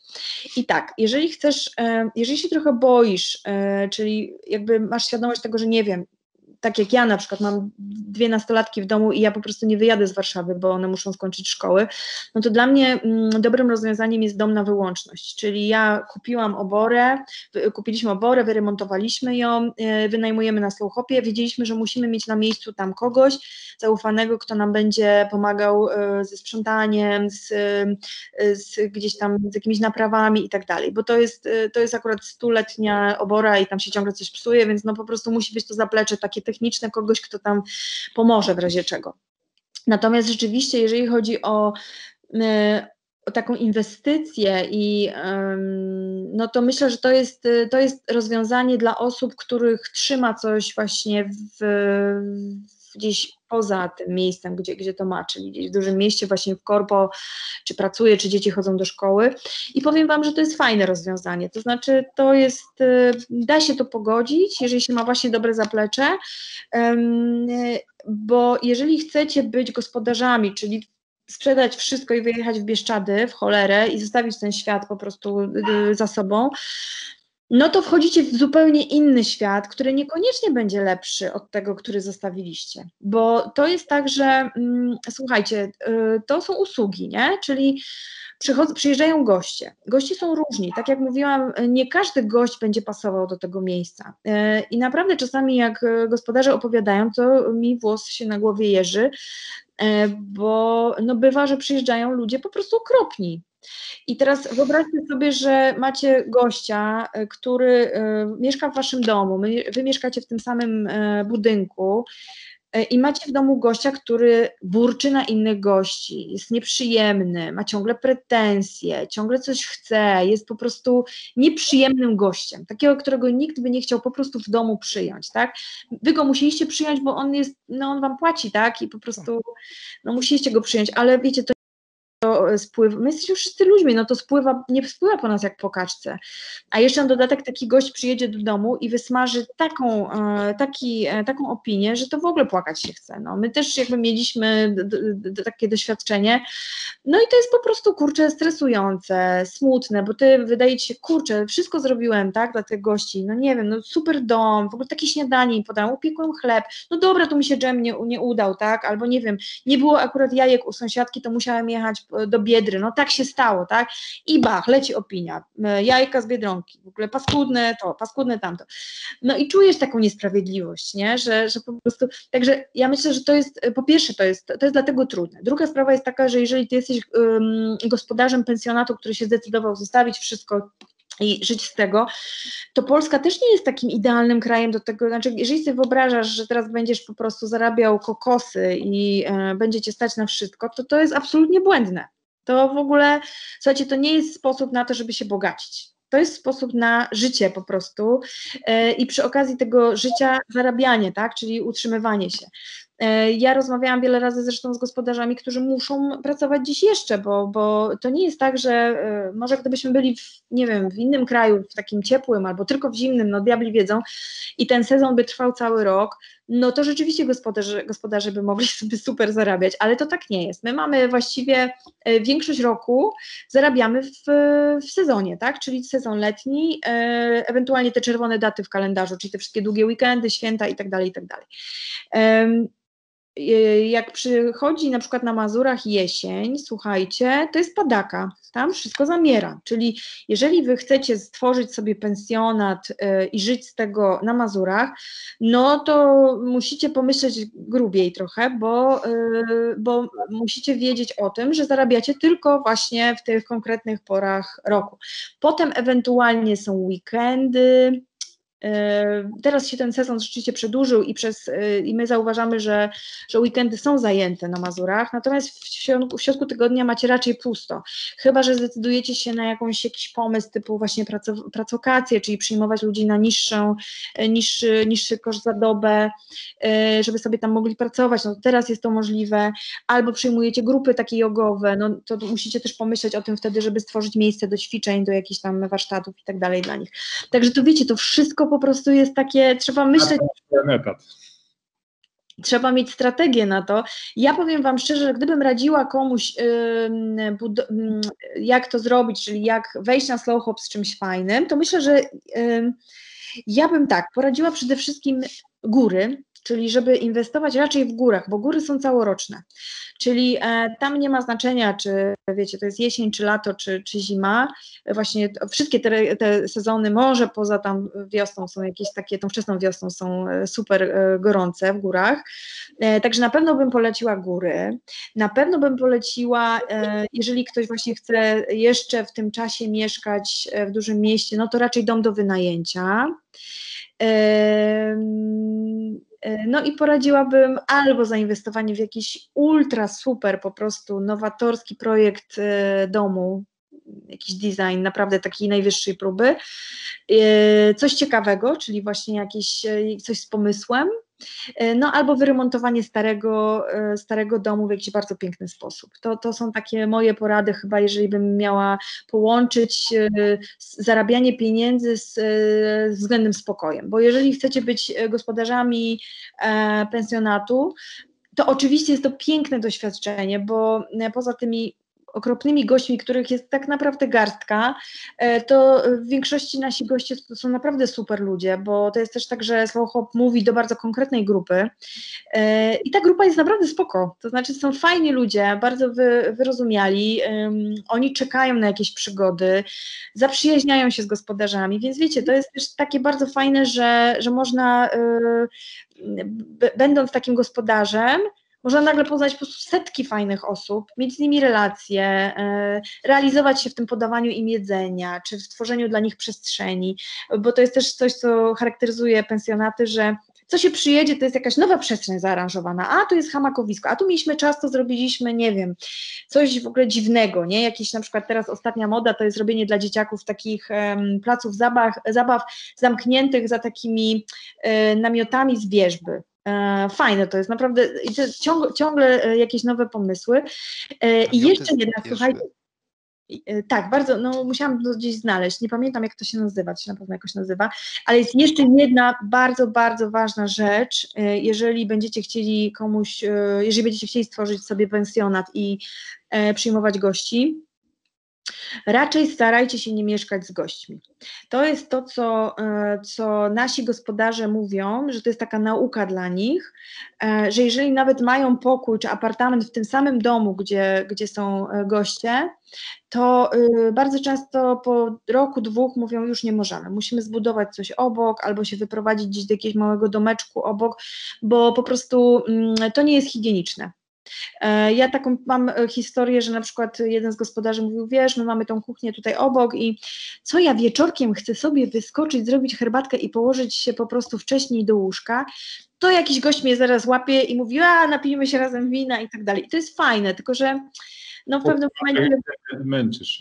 Tak, tak, tak. No wiecie, to jest tak, że ja, ja też ze swojego, właśnie dzisiaj miałam o tym rozmowę z Marcinem, my wróciliśmy e, z takiego objazdu gór izerskich teraz E, i właściwie to dwie, jedną noc odwiedzaliśmy nasze miejsca e, i było fantastycznie, super, naprawdę same, same fajne rzeczy, ale my bardzo z ogromną przyjemnością wróciliśmy do domu na naszą własną kanapę, gdzie możemy, wiecie, sobie po prostu zrobić e, jakiś Netflixowy maraton i nikt do nas nie mówi, nikt, nikt nas nie potrzebuje i tak dalej. No to są takie higieniczne rzeczy, które wydaje mi się, że są... Kim pić. No ale to jest bardzo ciekawe, co mówisz. E, generalnie tutaj się podśmiewuje z mnie Paweł, bo moja żona stawia oczywiście stodołę. E, bardziej pod swój użytek w miejscu, gdzie wychowała się. Natomiast też chciała gościom. Natomiast robi w takim razie wszystkie błędy, jakie mogą być tylko. Ale tu odsłucha tego odcinka i może, może zmieni koncepcję. No tak, no ale to to tutaj wiesz, rozmawiamy o tym, jak się dostać na Slowhopa, tak, który jest tak, wręcz tak, tak. bardzo specyficznym portalem, który wyszukuje bardzo klimatyczne miejsca, więc tutaj jakby chodzi trochę o to, e, w jaki sposób e, dostać się konkretnie w to miejsce. Olu, to tutaj jeszcze ja złapałem jedną rzecz, którą powiedziałaś i mi to bardzo, bardzo utkwiło. E, powiedziałaś o tym, że najlepiej byłoby znaleźć coś unikatowego e, albo przeprowadzić projekt, który jest niespotykany. I ja w mojej branży, jak widzę projekty, które są niespotykane, albo robimy coś unikatowego, to od razu zapala mi się czerwona lampka, bo wiem o tym, że ten budżet, który przeznaczamy, najczęściej jest niedoszacowany i to pewnie o połowę. I, e, i, i dla mnie bardzo ciekawe, nie wiem, czy jesteś w stanie odpowiedzieć na to pytanie, e, czy, czy w ogóle rozmawiacie z klientami, waszymi klientami, odnośnie takiego um, podejścia biznesowego do tego wszystkiego, czyli jakim się tak naprawdę kręci? Bo wydaje mi się, że tego rodzaju um, projekty muszą być rzeczywiście prowadzone z pasją, a nie dla pieniędzy, ze względu na to, że bardzo często to po prostu się nie będzie opłacało, ale będzie warto. Jeżeli wiesz, o co mi chodzi. Pięknie tak, tak. powiedziane. Tak, zapożyczyłem od Darka. Wiesz co, bo ja, ja powiem Ci, że jeżeli chodzi o ten biznes, um, no ja mogę powiedzieć, że gospodarze się dzielą właśnie na tych, którzy myślą, e, ja nie mówię o gospodarzach Slowhopa, bo my się staramy mm, raczej tutaj inwestować w tą grupę, która myśli o tym jako o pasji i sposobie na życie. Mhm. Natomiast wiecie, ja widzę, kto się do nas zgłasza i to są e, po prostu, bo rzeczywiście to, co się wydarzyło teraz po pandemii zwłaszcza, to, to na pewno wiecie, że ludzie kupują po prostu jak zwariowani, kupują ziemię, żeby kawałek tylko coś zielonego mieć za miastem. Ja, ja teraz widzę po prostu masę projektów, które się pojawiły, no to już takie są po prostu ewidentnie projekty biznesowe. Mhm. E, I te projekty biznesowe mają, e, wiecie, prostu ja widzę, jak jest, jak jest, jakie jest wyposażenie, jak blisko siebie są te, te domki postawione. E, no to dla mnie to jest taka grupa, z którą, której ja bym chciała, na, wolałabym na Sołchopie nie mieć. Znaczy ja wolałam mieć ludzi właśnie, którzy myślą o tym trochę inaczej, tak jak ty mówisz, jako, którzy traktują to jako przygodę. Y, słuchajcie, no to trzeba sobie to policzyć, bo to, y, to jest tak, że mm, jeżeli ty sobie założysz, my tak zakładamy, że koszt jednej osoby, że jedna osoba płaci około 100 zł, 100-120 zł za pobyt, za dobę, tak sobie to liczymy, nie, na Slowhopie.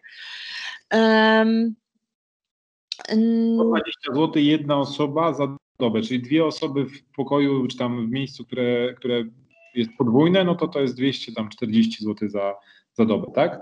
Tak, tak. To jest taka nasza uśredniona, nie? No bo oczywiście są też tańsze miejsca, mamy miejsca 80 zł za dobę, e, za, za osobę i tak dalej, ale tak jakbyśmy pomyśleli sobie w większości, no to tak chyba trzeba liczyć, 100, 120 zł za osobę, nie?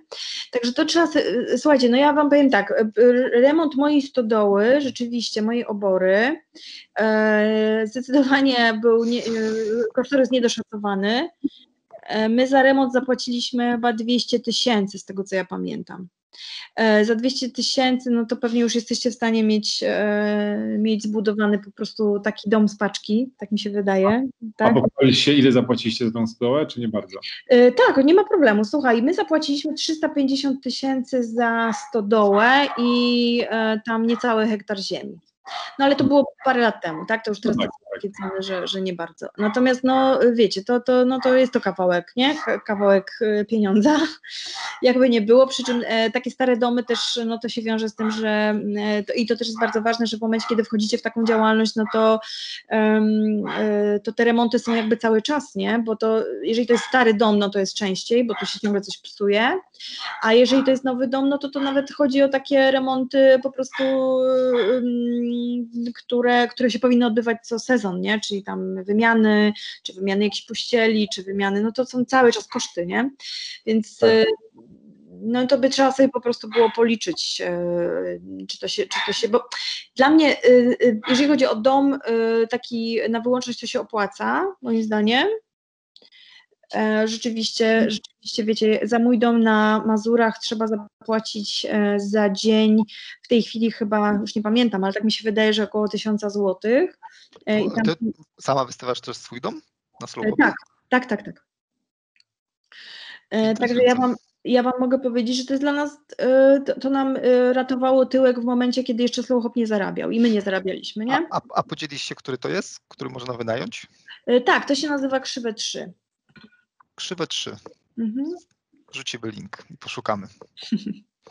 Okej, okay, a macie jakieś, um, macie jakieś e, statystyki, które mówią, jaka jest średnia, e, jakie jest średnie obłożenie tych e, wszystkich domów, które, tych miejsc, które macie na portalu?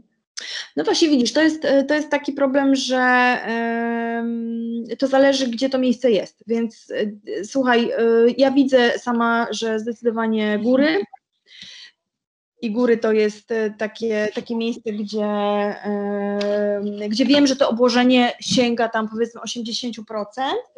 Natomiast no, zdecydowanie gorzej jest w miejscach, gdzie, gdzie no, to są. Mm, aha, i okolice Warszawy też mają całkiem niezłe, niezłe statystyki. E, natomiast jeżeli chodzi o, o takie mm, rzeczy, właśnie gdzieś Warmia, Mazury, no to to już jest dużo słabiej, nie? Tutaj, wiecie, jakbym wybierała. E, ja tak sobie myślę, bo myślę też o tym, żeby, myślimy też o tym, żeby rozszerzyć tą naszą, naszą działalność, czyli kiedyś jak dzieciaki już będą sobie same funkcjonować, no to my chcielibyśmy tam zrobić coś fajnego, postawić jakieś fajne właśnie designerskie domki czy coś takiego, ale my się liczymy z tym, że my będziemy wtedy tam gospodarzami powiedzmy od kwietnia do października, a potem już będziemy zamykać i chcielibyśmy po prostu podróżować dookoła świata, czyli chcielibyśmy gdzieś tam sobie zarabiać po prostu przez te wakacje na to nasze życie, które, które byśmy chcieli e, prowadzić w miesiącach zimowych. Nie, nie będziemy na siłę czekać na gości. Mhm. Zapytam ja. trochę inaczej, bo, bo e, zapytam się trochę, troszeczkę inaczej, bo mm, zależy mi na tym, żebyśmy coś ustalili, bo powiedzieliśmy tam około 240 zł za, e, za taki pobyt dwójki. To według Ciebie jakie jest obłożenie takie, mm, które które no nie jest jakieś tam super, ale z drugiej strony jest takie, że to jest już dobry wynik, tak? Takie, mm, czy mogłabyś powiedzieć, że 65, 60% obłożenia w ciągu roku, no to to jest naprawdę taki, nie wiem, uśredniony dobry wynik? Nie, nie jestem Ci tego w stanie powiedzieć. Wiesz, musiałabym zrobić e, badania jakieś na naszych gospodarzach i zobaczyć, jak to wygląda, wiesz? Okay, Bo nie prowadziliśmy czegoś takiego, jeszcze nie robimy. Tylko, wiesz, ludziom jakiekolwiek dane do tego, żeby sobie zaczęli to kalkulować, jeżeli w ogóle myślą o przejściu na przykład właśnie, wiesz, są znużeni korporacją, chcą się wyprowadzić gdzieś daleko, myślą o tym, żeby coś jeszcze robić, pewnie będą świadczyć jakieś usługi konsultingowe w tym, co się, nad czym się znają, ale przy okazji by chcieli stworzyć jakieś właśnie fajne miejsce klimatyczne, coś nie, niespotykanego. I chcą sobie to jakoś policzyć, jakkolwiek, tak, no nie mają żadnych danych, oczywiście każdy będzie myślał, no tak, no przecież mi się wydaje tam 90% czasu, tak, w roku. Nie, nie, nie, nie, nie, nie. Tak nie, mo, nie, nie, może, nie można tego, na pewno nie można zakładać, że tak będzie. Mhm. Ja myślę, że to, co mają ci ludzie, którzy, którym się udaje na poziomie tam 85% to zrobić, gdzie oni jeszcze wliczają na przykład wolny jeden miesiąc na remonty, um, czy tam swój um, urlop, tak, no bo przecież oni też muszą pojechać na urlop, tak. um, no to jest taki dobry, to jest taki super wynik, nie? To 80, tam powiedzmy 5%. Super. Ja, ja super się słucha Ciebie, naprawdę, natomiast e, ja dalej pracuję w korporacji, o 11 mam kola ważnego, więc musimy powoli kończyć to spotkanie. Natomiast e, mamy pytania od słuchaczy i może te pytania przeczytał teraz Pawle i Olu. Tak, tak, dobra, dobra. Będę, będę czytał tak, jak zostało, że będziemy dochodzili, co autor miał na myśli. Od Piotra. Jak wygląda rozwój worksta, work, Workaton. Workaton? Workation, tak. Workation. Gdzie leżą największe bariery? Czego oczekują klienci? Czego dziś brakuje w oferowanych miejscach? I koniecznie pogratulujcie i pozdrówcie, bo zarówno idea, jak i wdrożenie jest zacne. Bardzo dziękuję. E, no, jeszcze sporo, słuchajcie, przed nami, bo my e, za wcześnie wystartowaliśmy i nie mieliśmy gotowego wszystkiego, więc nie spodziewaliśmy się, że to tak zażre. Więc mamy jeszcze masę rzeczy do robienia i właśnie teraz cały zespół programistyczny po prostu nie sypia, tylko programuje. Także mam nadzieję, że będzie lepiej. A jeżeli chodzi o to pytanie e, o workation, no tak, to jest w ogóle strasznie ciekawe, bo to jest bardzo bliskie mojej, mojej w ogóle tej działalności Pracuj Flexi i dla mnie to jest super, że można w tej chwili w ogóle tak niechcący zupełnie można wyjechać w diabły po prostu gdzieś na wieś i pracować sobie mm, zdalnie. Ja mam takie wrażenie, że to gdzieś dopiero w Polsce się pojawia. Jest to zaskakujący koncept jeszcze dla ludzi.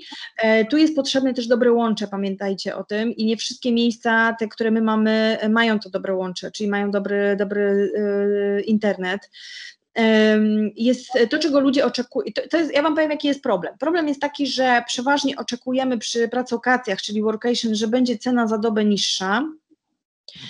E, ale to będzie naprawdę dużo niższa, e, no bo jak sobie policzycie, że macie, nie wiem, pracować, e, pracować gdzieś tam powiedzmy przez dwa tygodnie, no to, no to jest, gdybyś tak policzyło po tych cenach cennikowych, no to wychodzi kupa kasy po prostu. Także tu jest, problemem jest cena, problemem jest też w przypadku osób z dziećmi, co zrobić z dziećmi. E, czyli my, tak jak widzimy, to e, fajnie by było jeszcze, gdyby gospodarze na przykład e, zaproponowali jakiś sposób na to, żeby coś zrobić z dziećmi, czyli gdzie się tam... Zamknąć. Gdzie się tam zamknąć, żeby one nie przeszkadzały. Mm, tak, ja myślę, że to jest początek, natomiast zaczęły się pojawiać oferty i to jest ciekawe bardzo, bo pojawiła się oferta na, na w Pałacu Zdunowo, która bardzo odpowiada na tą właśnie, to jest pod Warszawą, odpowiada na tą potrzebę. I oni mają taką ofertę. Można przyjechać do nich od poniedziałku do piątku, właśnie na workation, na pracokację. Oczywiście ma się pokój własny z biurkiem, to jest też bardzo ważne. Cały, w cenie jest śniadanie, pokój, cały dzień przerwy kawowej, a po, y, po lekcjach, czyli po, po, godzinach pracy, y, codziennie od poniedziałku do piątku są inne wspólne atrakcje. To y, co prawda było, to była oferta jeszcze przed wprowadzeniem tego zakazu y, tam y, gromadzenia się, tak, więc jakby tu, tu, natomiast sama idea jest bardzo fajna, bo jeżeli ja jadę do takiego pałacu Zdunowo i myślę sobie, dobra, mam swoje biurko, czyli mam swoją przestrzeń, mam przerwę kawową, mogę sobie iść do jakiegoś miejsca, gdzie mogę sobie po prostu wziąć kawę, wodę, tam kawałek ciastka na przykład, jest śniadanie, jest restauracja na miejscu, czyli ja się nie muszę martwić o to, że muszę teraz gotować albo zamawiać jedzenie, ono jest po prostu na miejscu. I co więcej, wszystkie przestrzenie pałacu są moimi przestrzeniami coworkingowymi, czyli ja w momencie, kiedy na przykład moje dziecko ma akurat y, pracę, zda, y, naukę zdalną i musi mieć swoje miejsce, to ja się mogę przenieść powiedzmy do, y, do jakiegoś, nie wiem, do jakiejś do sali kominkowej, gdzieś tam, nie wiem, do restauracji i posiedzieć. Nikt mnie stamtąd nie wygoni, to jest jakby moje miejsce do pracy, a po pracy mogę spotkać się z ludźmi, bo jest ognisko, jest pałacu z jego właścicielką. Jest, y, słuchajcie, kucharz y, uczy mnie, bo są warsztaty pieczenia ciast na przykład. Także ja mam takie wrażenie, że to jest w ogóle super oferta dla kogoś, kto już nie może y, patrzeć na to, co, czyli może pracować zdalnie, ale już nie chce po prostu tego robić z domu, bo ile można. I to jest taka fajna, spo, fajny sposób na zmianę dekoracji. Także pojawiają się takie pierwsze oferty. Gospodarze zaczynają rozumieć też, czego im, e, czego może brakować, bo podczas takiego, takich pracokacji, e, no to musi, muszą być przestrzenie, gdzie można właśnie się schować, e, przeprowadzić spokojnie sobie kola, telekonferencje, gdzie dzieci mogą pójść się pobawić na przykład w, w jakiejś tam przerwie i tak dalej. Także e, jakby takim mocnym, mo, mocną stroną wydaje mi się tego, co jest na Stołchopie, to są właśnie te przestrzenie wspólne, nie? że gospodarze tak dbają o te właśnie takie zakątki, nie? Ale czekam, to nie jest jakiś tam wielki trend. E, jestem na stronie Pałacu Zdunowo, no pięknie wygląda, nie byłem jeszcze nigdy, natomiast nie widzę tej oferty, może jest wycofana, albo trzeba pogrzebać, ale to jest mega w ogóle pomysł, ja bym od razu pojechał, ja jutro mogę jechać tam z rodziną swoją na, jak to mówisz, dzieci, tak? Słucham? To by była klatka dla dzieci. To by była klatka dla dzieci. No, zna, znasz moje dzieci i myślę, że to by ich nie powstrzymało zupełnie, zupełnie. Dobra, e, drugie pytanie od Pawła, nie tego Pawła, innego Pawła jak dużo osób korzysta z ich portalu na zasadzie rodzinnego work and travel? Jaki był najdłuższy okres takiej rezerwacji? Widać, że ta praco, pracoka, pracokracja się przewija. E, wiesz co, to dlatego, że w tej chwili, akurat w tym momencie, kiedy, kiedy my to nagrywamy, do 29 listopada można wyjechać w takie miejsca, tylko służbowo i na pracę zdalną, więc pewnie dla, stąd pytania. E, jeżeli, e, no nie wiem, z tego co my widzimy, to rzeczywiście wszystkie wyjazdy w tej chwili, które są, to znaczy większość, czy chyba wszystkie, to jest podróż służbowa, czyli pracokacje. I ta pandemia dała też taką możliwość, żeby właśnie ponieważ jakby wiecie, no szkoła jest zdalna, więc pewnie wiecie tak samo dobrze jak ja, że tak naprawdę to już nie ma teraz weekendów, można sobie pojechać jakkolwiek. Ja też wróciłam z takich pracokacji teraz z dzieciakami. E, no i e, to faktycznie dobrze działa, to znaczy możemy wyjechać niezależnie od. Kiedyś to mogliśmy tylko na weekendy w tym okresie roku, tak, kiedy jest szkoła. Teraz możemy jechać właściwie cały bez, bez problemu. Te ceny też są niższe teraz za, za nocleg, więc to jest w ogóle bardzo fajny czas na podróżowanie. Mm, ale ile, e, ile no, no w tej chwili wszystkie wyjazdy są na pracokacje, które są na Slowhopie. E, natomiast jeżeli chodzi o, jak, dopiero jak zdejmą te, te ograniczenia, to będę mogła powiedzieć, jaki, jaki tak naprawdę jest e, no, odsetek takich wyjazdów, e, bo to rzeczywiście jest coś, co, jest odbywa, co się odbywa od poniedziałku do piątku bardziej, prawda, albo tam na całe tygodnie. Nie wiem, nie potrafię jeszcze póki co powiedzieć. okay, ale to jest w ogóle ciekawe pytanie, czy kiedyś mieliśmy w podcaście taką osobę, która miała w Zakopanym pensjonat i ona już mówiła, to było ile, z półtora roku temu Paweł, że on widzi taką tendencję, że ludzie się pytają na przykład, czy jest biurko, bo ktoś no. chce przyjechać sobie na miesiąc do Zakopanego, czy gdzieś tam w górę, już nie pamiętam, gdzie on miał ten, ten, ten, ten, apartament właściwie i chce po prostu tam popracować, bo jest freelancerem i, i ma taką możliwość. Więc coś, coś się dzieje.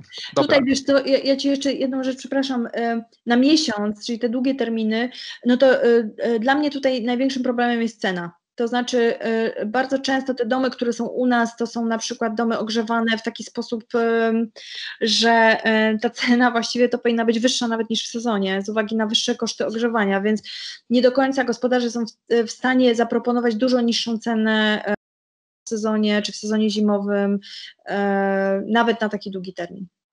Tak, ale wiesz co, mi się, mi się, wydaje, że coraz więcej osób pojawia się takich, którzy są w stanie zapłacić kilkanaście tysięcy, czy kilkadziesiąt tysięcy nawet za pobyt miesięczny gdzieś. E, ja pamiętam, byłem w szoku, kiedy znalazłem taki portal, poszukam go i wrzucę w notatki, jak znajdę, e, luksusowych apartamentów w Berlinie gdzie tam ceny w ogóle za wynajem miesięczny czy dwumiesięczny to były, nie wiem, tam rzędu 10 tysięcy euro na przykład miesięcznie. Zastanawiałem się, kto w ogóle takie rzeczy wynajmuje. I później patrzę w podcaście Tima Ferisa, Oczywiście Tim Ferris, więc na świecie są osoby, które jeżdżą po takich miejscach, dla których 10 tysięcy euro miesięcznie to nie jest tam jakiś ogromny wydatek pewnie. Mhm. Prawda, Pawle? Yy, nie znam takich. Przejdźmy do kolejnego pytania. Dobra. Yy, ostatnie pytanie. Trochę skomplikowane, ale postaram się przeczytać. Nie mam, kto je zadał. Tutaj mi się nie skleiło. Yy, w którą stronę idzie rynek nieruchomości tych do odpoczywania? Czy Polacy mają, będą mieli kasę w czasach kryzysu na odwiedzanie fajnych miejsc? Jaki jest pomysł na monetyzację portalu? Dziękuję. E, to ja odpowiem tak. Rok temu, to chyba było rok temu, e, dostałam taką informację od mojej znajomej, która powiedziała, że ma do sprzedania nieruchomość w okolicy Zieleńca. Mm, e, rozmawiała z architektem i on jej powiedział, że, mm, że w tej chwili nie warto, inwest warto inwestować w slow hopy. I ona do mnie zadzwoniła, żeby mi powiedzieć, że ten slow hop stał się takim e, powszechnym rzeczownikiem, który coś oznacza. I jeżeli architekci mówią coś takiego, no to to też coś oznacza. To znaczy, że, że może właśnie warto w tym kierunku iść. To znaczy, i to będzie chyba. E, znaczy, ja cały czas wiem, że mm, jednak większość takiego podróżowania to są oferty e, masowe, tak, all inclusive i tak dalej. No to po prostu jest większość ludzi, którzy, którzy, którzy korzystają z takich rzeczy. Natomiast e, jeżeli bym inwestowała, to rzeczywiście inwestowałabym w coś e, takiego unika, unikalnego. To drugie pytanie, nie pamiętam jakie było. Drugie pytanie, czy Polacy będą mieli kasę w czasach kryzysu? Jaki jest pomysł na monetyzację portalu? E, czy będą mieli kasę? E, to jest tak, że mm, My nie przestaniemy podróżować, to jest na pewno, że nie przestaniemy podróżować, bo my się do tego przyzwyczailiśmy, będziemy tylko zmieniać miejsca, będziemy zmieniać e, formułę i tak dalej, i tak dalej. My e, podczas tej pandemii e, zobaczyliśmy, jak bardzo urósł rynek na przykład kamperów, to znaczy to było niesamowite, że w zeszłym roku te kampery były takie średnio znane i średnio, korzysta, średnio się z nich korzystało, przynajmniej przez Slowhop, a w tym roku to były takie oferty, gdzie nasi użytkownicy zadeklarowali, że oni w tym roku w ogóle tylko kamperem. No to też jest jakby efekt, efekt pandemii, ale to też pokazuje, jak bardzo my jesteśmy zdeterminowani, żeby jeździć, żeby podróżować. W tym roku na przykład też e, pytano nas o kampingi bardzo fajne, czy jakieś ładne kampingi, czyli tu wiemy, że zapłacimy za to mniej, no ale pojedziemy. Czyli jakby ja w ogóle nie mam wątpliwości, że będziemy podróżować, jeżeli nie będziemy mieli pieniędzy na podróż za granicę, bo e, to jest tak, że nam często, czy naszym gospodarzom zarzuca się, że te ceny są wysokie, to już może lepiej jak pojadę do Hiszpanii i tam pojadę do yy, i tam spędzę wakacje, tak, w, Hiszpanii, no ale to jednak mimo wszystko trzeba doliczyć ten koszt podróży i tak dalej, i tak dalej, więc koniec końców te wakacje jednak w Polsce mogą wyjść, jak się tak patrzy, no trochę taniej, drogo, ale trochę taniej. Mm, także ja powiem Wam szczerze, że y, ja nie wiem, czy będą mieli pieniądze, ale wiem, że, że znajdą po prostu swoje sposoby na podróżowanie. I jeżeli to nie będzie, jeżeli to nie będzie wiecie, pensjonat, gdzie się płaci tam powiedzmy 800, czy tak jak u mnie powiedzmy 1000 zł dziennie za dom, no to to będzie po prostu na przykład jakiś fajny, jakiś fajny pensjonacik gdzieś, który jest tańszy w Beskidach na przykład, albo gdzieś tam na, na Warmii, tak? Więc wydaje mi się, że mm, na pewne rzeczy zawsze się znajdą pieniądze, po prostu. Tak, znaczy ja, ja, myślę, że tak samo jak przynajmniej rozmawiamy, że takie kryzysy po prostu odcinają, nazwijmy to, rzeczy, które nie dają aż takiej wartości. A ci, co mają właśnie projekty unikalne albo dają jakąś wartość inną, to zawsze będą mieli obłożenie, czy, czy mamy kryzys, czy nie mamy kryzysu. Natomiast jedne, co zastanawiam się, przynajmniej tak widzę po swoich podróżach z żoną i z dziećmi, na przykład moja żona teraz wybiera tylko miejsca, gdzie, znaczy najchętniej wybiera miejsca, gdzie jest, gdzie jest osobny domek. O, E, nie już hotel, gdzie tam można, nie, nie jest po prostu przestrzeń, tylko osobny domek, jakoś tak, tak czujemy się lepiej z tym, że tam w czasie pandemii takie rzeczy wybierać. No to jest właśnie, to jest właśnie, e, wiesz, charakterystyka e, tych zmian, nie? Że, i to my widzieliśmy bardzo dobrze, że pierwsze w tym roku ze Slowhopa na wakacje zniknęły właśnie domki I dlatego my też e, na stronie, na stronie profilu e, czy produktu, jak to my mówimy, daliśmy taką informację, że na przykład są tam osobne wejścia, czy są, nie wiem, no po prostu, żeby ludzie, którzy potrzebują tej, tej poczucia bezpieczeństwa, żeby wiedzieli, że, że tu je znajdą, nie? Także tak, tak, no masz rację, że po prostu zupełnie, zupełnie inaczej to w ogóle w tym roku wyglądało niż w poprzednich latach. Tak, tak, to się zmieniło. Zobaczymy, jak będzie w przyszłym. Tu było też pytanie o to, jaką, jaki mamy pomysł na monetyzację tego, tego portalu. No dla nas y, my mamy y, bardzo prostą rzecz. Mamy po prostu prowizję od, y, od, rezerw, od każdej rezerwacji i mamy stałą opłatę roczną, czyli my, y, ta opłata roczna, która jest tak naprawdę no, dość minimalna powiedzmy i prowizja, która, która idzie do nas w momencie, kiedy rezerwacja przechodzi przez slow. A możesz się podzielić, bo chyba to jest oficjalna informacja, tak, w, tak. w regulaminie jest napisane z tego, co kojarzę, tak? Jaka jest e, prowizja, tak. jaka jest e, opłata roczna? E, to jest 8% od, od, od rezerwacji każdej i 500 zł rocznie. Okej. Okay. I to wszystkie moje pytania. E, które były na, e, na naszej grupie i na stronie. To może przejdźmy, Pawle, do tej jednej rzeczy, co? Ja tak. bym zaczął, bo mi się spieszy już powoli. naszym, naszym takim e, stałym elementem podcastu jest to, że próbujemy od naszych gości i od nas samych wyciągnąć jakieś rzeczy, które moglibyśmy zarekomendować naszym słuchaczom. Coś, co wpada nam w ręce i uważamy, że jest na tyle fajne, że można się tym podzielić. Olu, czy przygotowałaś taką rzecz? E, tak, ja mam, e, ja mam, słuchajcie, mm, coś, co mnie totalnie, e, totalnie kręci, czyli magazyn Pismo i, i podcasty magazynu Pismo, bo mało jest rzeczy, ja lubię w ogóle reportaże i, i mało jest rzeczy tak dobrych jakościowo, jak, jak to, co oni tam pokazują, także ja bardzo serdecznie to rekomenduję. I śledztwo Pisma koniecznie. Okej, okay. okay, nie znałem. Czekaj, bo zapiszę nam, żebyśmy Aha, żeby nam nie mknęło. To tylko jeszcze powiedz dosłownie jednym zdaniem, jakby czym się e, wyróżnia to, ten magazyn? Wiesz to, to, są, to, są, e, to są bardzo wysokiej jakości e, materiały reporterskie. Czyli to wiesz, to nie jest po, po łebkach, tylko naprawdę ludzie robią bardzo dobre nazwiska.